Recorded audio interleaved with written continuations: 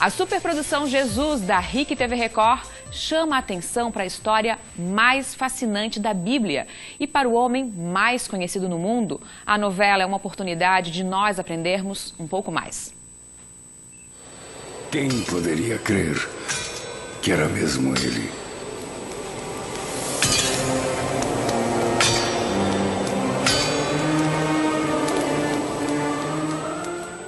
Nosso entrevistado é o professor Edivaldo José Bortoleto, professor de filosofia da Chapecó, que também estudou teologia. Professor, por que, que a história de Jesus ainda chama tanta atenção, atrai tanto público ainda? Boa tarde. Boa tarde, Fabiana. Primeiramente, quero agradecer o convite por esse diálogo consigo e com as pessoas que nos ouvem. Bom, eu acho que a primeira ideia em torno de Jesus é que a figura de Jesus, de um modo ou de outro, é uma figura espetacular que exerce assim um fascínio ao longo da história nesses mais de dois mil anos. Eu acho que essa é a primeira ideia que nós poderíamos assim é, reconhecer. Agora é verdade que essa figura que exerce um fascínio e mexe, poderíamos dizer assim, com todas as pessoas, de um modo ou de outro tem uma presença em várias culturas não direi em todas, porque há outras culturas que fazem uma opção religiosa numa outra direção, nós poderíamos reconhecer que de Jesus, é, efetivamente, nós sabemos muito pouquinho. Professora, então quer dizer que essa é, superprodução da Record, né, que fala novamente sobre essa história, é algo importante, né, para discutir, para falar novamente sobre esse assunto, inédito até, né? Então, Fabiana, nós podemos dizer assim, que no século XIX, há um gênero sobre Jesus que está circunscrito à produção dos livros, as vidas de Jesus. Isso está no âmbito da tradição da filosofia alemã. Depois nós vamos ter um deslocamento do gênero das vidas de Jesus nos livros para as grandes produções cinematográficas. Então, é o que nós presenciamos nos grandes filmes sobre Jesus. E agora a gente presencia de um modo é, singular esse deslocamento do gênero da vida de Jesus para o gênero da novela em televisão. Nesse sentido, é inegável que a TV Record ela inaugura esse gênero novelístico sobre Jesus na nossa cultura. Então, há um Jesus que é um Jesus da história e há um Jesus que é um Jesus da fé. A questão é como é que nós estabelecemos a relação desses dois Jesus, que é o mesmo Jesus. Então, o grande perigo de uma construção ficcional é muitas vezes de construirmos um certo reducionismo da grandeza é, e da figura de Jesus que o senhor falou no começo da entrevista que não a história foi escrita muito tempo depois, né?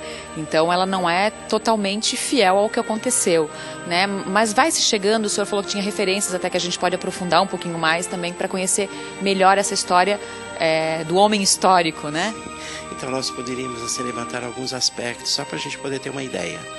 Primeira coisa, Jesus nasce é, no Império Romano, no Império de Augusto, que é o imperador romano e comumente nós entendemos que a fixação do tempo é o ano 1, mas Jesus provavelmente teria nascido ou no século VI ou no século IV antes do nascimento de Cristo.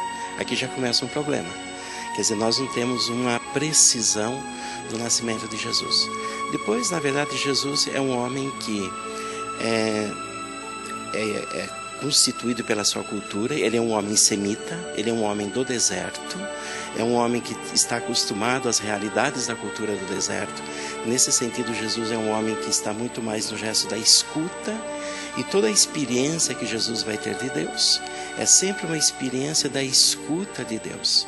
Então, o que Jesus prega, o que Jesus anuncia, não é ele, mas é o reino de Deus que emerge da experiência que Jesus faz de Deus. O reino que Jesus propõe é um reino onde todos é, têm lugar, mas desde que é, efetivamente descubram que o reino é essa realidade que se dá no âmbito daquilo que é sempre a justiça. E Jesus, ao longo da sua história, vai pagar um preço alto por essa opção. que ele carregava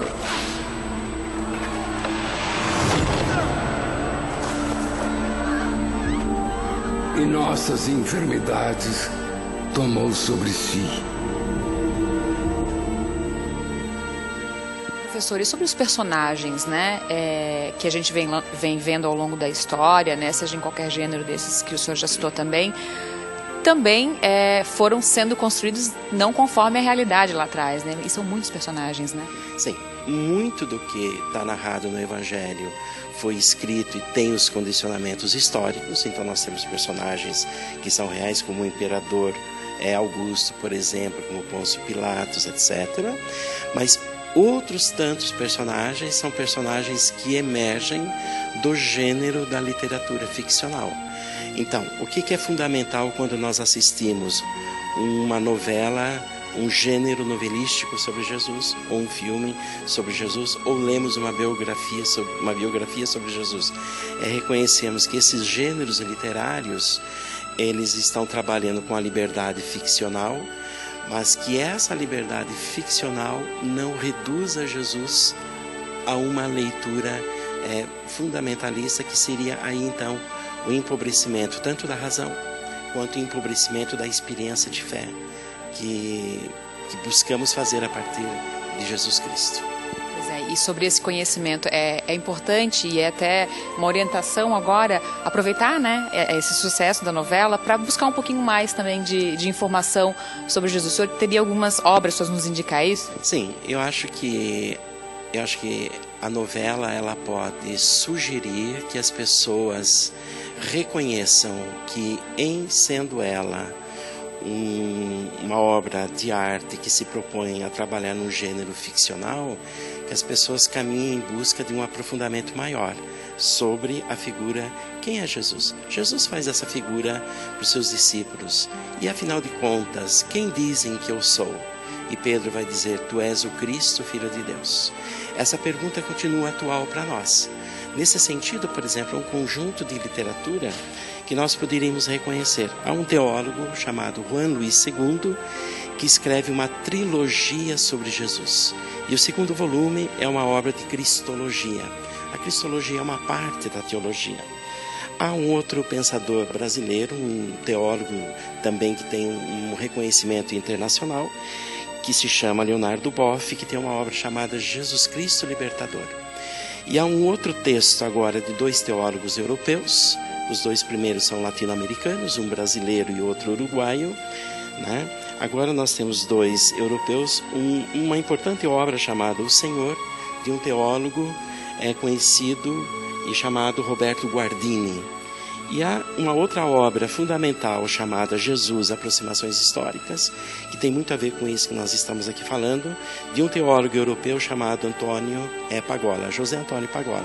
Essas quatro obras, entre outras tantas, que nós poderíamos encontrar em boas bibliotecas de teologia, é, em boas livrarias também, é, podem nos ajudar a adentrarmos essa figura de Jesus, que é o homem da história, mas também desse Jesus que, em se reconhecendo Filho de Deus e fazendo a experiência de Deus, se apresenta para nós como o Cristo ou seja, aquele que se configura como a verdade, a vida. Obrigada, professor. Então fica né, essa dica aí que o professor deu de leitura e além da, muito além da, da arte também, para a gente se inspirar, né, professor? Muito obrigada, boa tarde. Obrigado, Fabiana. Eu agradeço a sua atenção. Essa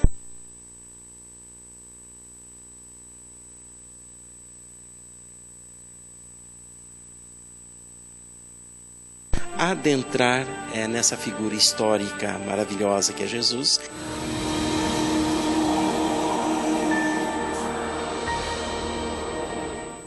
E hoje tem um capítulo super especial da novela Jesus aqui na tela da RIC TV.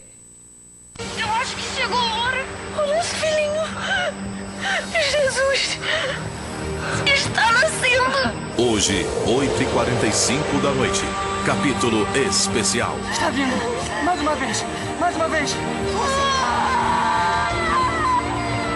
O nascimento de Jesus. Pois os meus olhos viram a criança que irá trazer a salvação.